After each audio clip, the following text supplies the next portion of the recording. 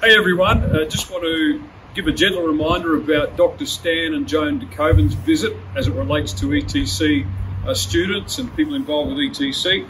Uh, obviously, we've got a wonderful day of counselling seminar on Saturday, the 26th of August. So, if you've not registered for that, and if you're able to come, I highly recommend you doing that because you're going to knock over videos and the sessions for that subject on Christian counselling.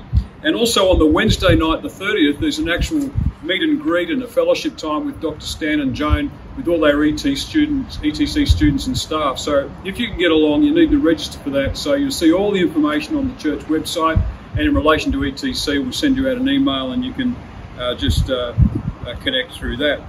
Now here I am at New Life Christian Centre, and uh, obviously on the some of the work site where our building is being extended and what you can see here, obviously the slab's gone down this past week, but I just wanted to point out the depth of that slab. Now that's just the footing side of it. So along here, they have footings, and below the ground it goes down quite a long way. And of course then the slab sits on top of that. But in that slab there's also steel to reinforce the foundation.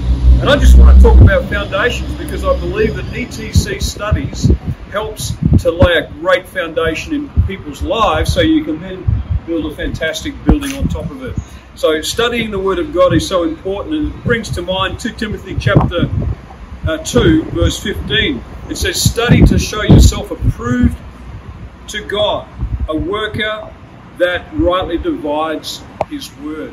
And so I just want to encourage you with your studies. Block in time each week to do the study and uh, knock over a book or two over the next couple of months. God bless you. Hope to see you with Dr. Stan and Joan DeKoven's um, itinerary and the events that we have. Uh, so uh, God bless you. Hope you have a great day. It's a bit rainy here, but I've uh, got this in between the rain. God bless you.